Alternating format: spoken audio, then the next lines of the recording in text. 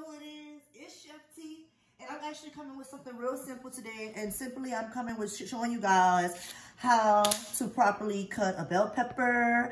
Um, I know a lot of people have been commenting on my videos and things like that. So I just want to bring that to y'all as a holiday special. Happy Halloween, guys. Let's get real spooky with it. So I do have a knife. This is the knife that I chose to use today.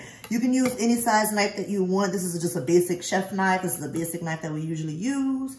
So, um. I want to show you guys other knives that you can probably use. They're smaller ones. I don't have to use a big one. Y'all can use a smaller one. Some small like this, that's fine. You just do the same exact thing that I'm doing. This is just a knife that I'm choosing to use.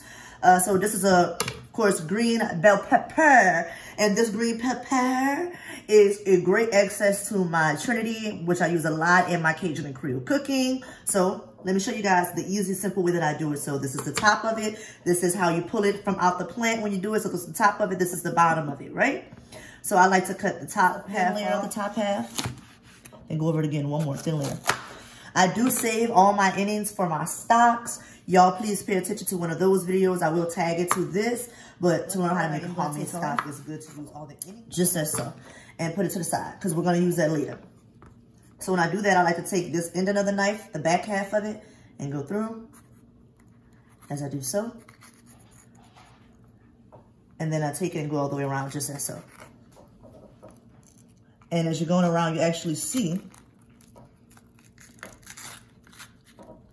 that ending that you're cutting off. So you guys know that when you cut a bell pepper, or if you don't know, we're about to learn now, you want to take all that white flesh off, but that green you want to keep. And I try to cut off as much green as I can to keep. I'm going to keep that to the side also. Just take that and pop that out. See how that goes off. If it breaks, that's fine. Don't even trip. You just basically go back in with your knife. Flat. If you need to put that down flat, you can. And you just want to go across. Flat and across. Just to get that white meat and flesh off of this. Take that again, put it to the side. And again, we're just gonna go and get that white flesh off. So we got the knife real flat against the meat. And see how I move my fingers out the way? and then I come back. I want to hold it so that it doesn't slip and move out, right? And look, there we go. And then we're going to come in.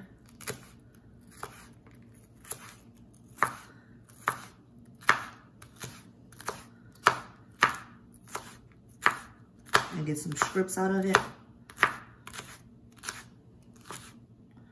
This is exactly what I'm doing for my recipe later, so I'm not going to cut it from there. But we cut it from there and go into dices. So it's my strips.